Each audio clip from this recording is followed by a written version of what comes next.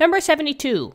A student solved the following problem and found that the equilibrium concentrations to be the concentration of SO2 was 0.590 molarity, the concentration of O2 was 0.045 uh, molarity, and the concentration of SO3 was 0.260 molarity. How could the student check the work without reworking the problem? And the problem was for the following reaction at 60 uh, at 600 degrees Celsius, we have this equation with the Kc value.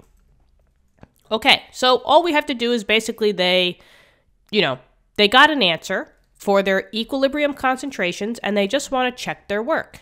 Well, first off, this is actually a very good thing to do on your test and quiz.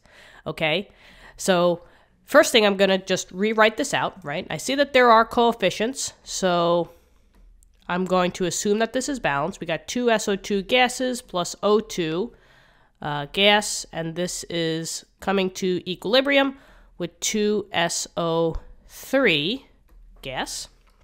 I'm just going to make this a little bit more centered. Beautiful. And now I'm just going to write out what the concentrations that the student found out to be. They said at equilibrium, and maybe I'll put, you know, at equilibrium. We found out that the concentration of SO2 was 0.590 molarity. The O2 was 0.0450 molarity. And then the SO3 was 0.260 molarity. Let's just see if this student has the right answer. What you're going to do is you're basically going to use your equilibrium expression to see if this gives you the equilibrium constant. Technically, this, for a specific temperature, is a constant number. So, if the student calculated correctly, they should be able to plug these values in into the Kc expression and see if it equals this value.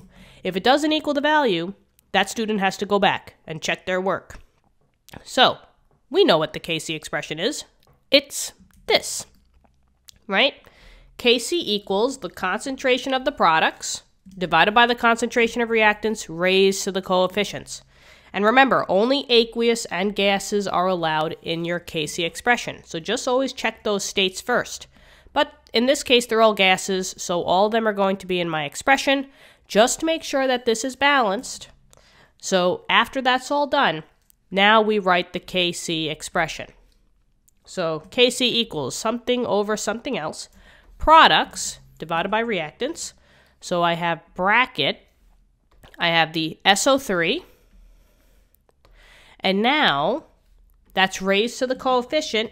Remember, that's the big numbers in the front. So I see that I have a 2 in front of the SO3, so I have to raise it to the second. And then we come over here. I have the SO2 and I check for a coefficient. I do see one. It is a 2, so I know that I have to raise that to the second. And then remember, it's not addition as it would be in a balanced equation, but you're multiplying your uh, reactants or your products. Multiple reactants or multiple products. So here I'm going to multiply by the concentration of O2. And in this case, I don't see a number in front, right? Oop. Hold on.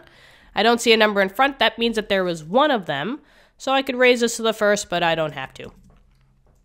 Okay, now we're just going to plug in the values. They did say that this was 0.260, and this one was 0.590, and this was 0.0450. So we could just solve for the Kc. Let's see. So I get 0.260, and that's all squared. Then for the bottom, I have 0.590, and that's also squared. And then I have to multiply by 0.0450. Okay. Beautiful. I'm just going to pull this a little bit to the side. Let's get one number for the top one number for the bottom. If you want, you can do the math in one shot, but let's just see. I'm going to try not to round too much here because we're still not at the final answer. So the top 0.26 squared is 0.0676. And then the bottom, let's see, 0.59 squared times 0.045.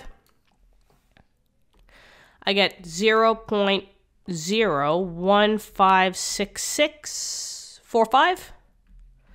And now let's just see what that KC value is. So this number divided by this number. And I get 4 point, if we're rounding it with the 3 sig figs, I do get 4.32. And look at that, it checks out.